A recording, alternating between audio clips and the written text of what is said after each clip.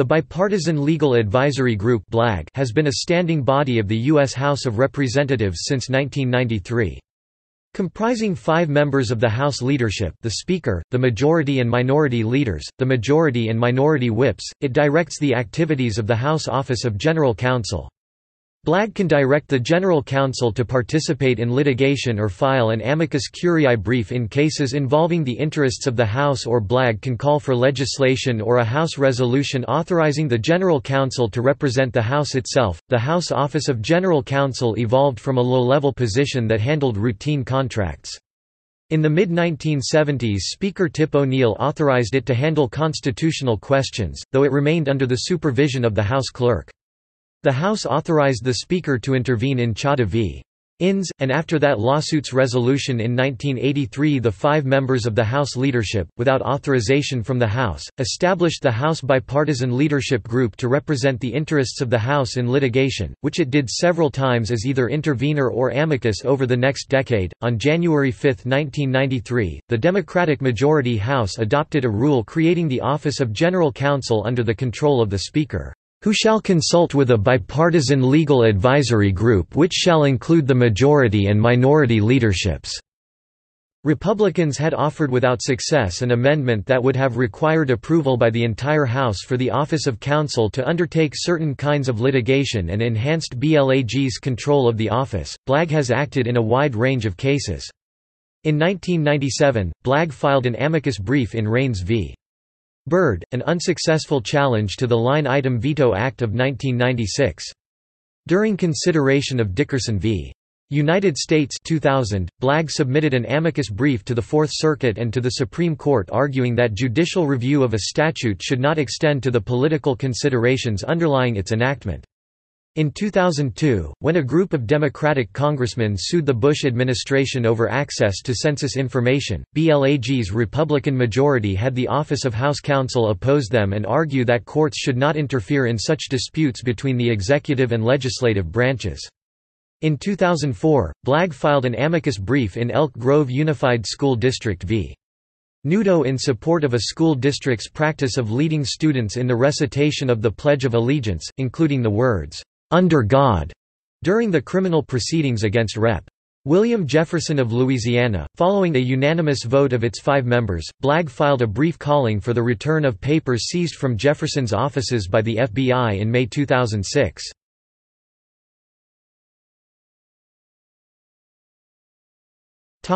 Defending the Defense of Marriage Act In 2011, when President Barack Obama announced that the U.S. Department of Justice DOJ would no longer defend the constitutionality of Section 3 of the Defense of Marriage Act DOMA, House Speaker John Boehner convened BLAG to authorize the House Office of General Counsel or other outside attorneys to take the place of the DOJ in defending the law. On March 9, 2011, BLAG by a vote of 3 to 2 directed the Office of General Counsel to defend DOMA. Attorneys representing BLAG filed a brief in U.S. District Court in San Francisco in Golinski v.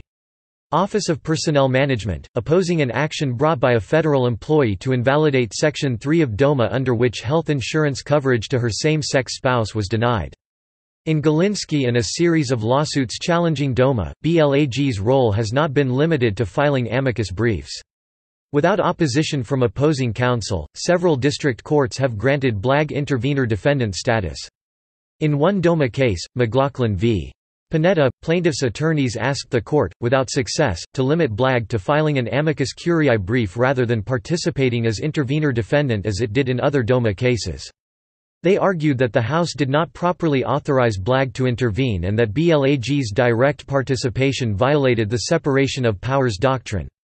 The DOJ also questioned BLAG standing to appeal a district court decision, relying on Buckley v. Valeo 1976. Democratic House Minority Leader Nancy Pelosi questioned the funding of BLAG's defense of DOMA, which in January 2013 BLAG capped at $3 million. On December 7, 2012, the Supreme Court, in agreeing to hear another DOMA case, United States v. Windsor, asked the parties to address whether the Bipartisan Legal Advisory Group of the United States House of Representatives has Article 3 standing in this case. Article 3 of the U.S. Constitution restricts the judiciary to hearing cases and controversies, which the Supreme Court has long interpreted to require parties to a case to have a direct interest in the outcome, rather than the generalized interest that the Department of Justice claims BLAG has in the defense of DOMA. BLAG has countered, citing the Supreme Court's decision in Chadha that, "...Congress is a proper party," to defend the validity of a statute. In such circumstances, on January 3, 2013, at the start of the 113th Congress, the House of Representatives included in its rules a provision authorizing BLAG to defend DOMA and related laws, mentioning the Windsor case by name. It also made BLAG's role explicit. The Bipartisan Legal Advisory Group continues to speak for, and articulate the institutional position of, the House in all litigation matters in which it appears. The Supreme Court ruled against BLAG in Windsor on June 26, and on July 18, BLAG acknowledged that in Windsor T he Supreme Court recently resolved the issue of DOMA Section 3's constitutionality, and said, it no longer will defend that statute. Justice Anthony Kennedy's decision for the majority in Windsor noted that BLAG's participation in the case helped reassure the court that it was presented proper adversarial argument despite the fact that principal parties to the case, the administration and Windsor, were not at odds. The court also found that it need not decide whether BLAG would have standing to challenge the district court's ruling and its affirmance in the Court of Appeals on BLAG's own authority. Justice Alito in dissent nevertheless argued that BLAG should have been allowed to defend the statute. He wrote that it was properly authorized to act on behalf of the House and had standing as an aggrieved party once part of DOMA was ruled unconstitutional because the House of Representatives was a necessary party to DOMA's passage. He concluded, in the narrow category of cases in which a court strikes down an act of Congress and the executive declines to defend the act, Congress both has standing to defend the undefended statute and is a proper party to do so.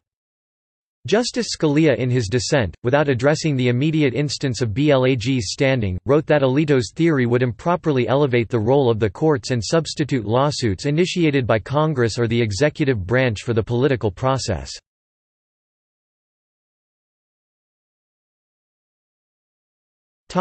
See also. Cardona v. Shinseki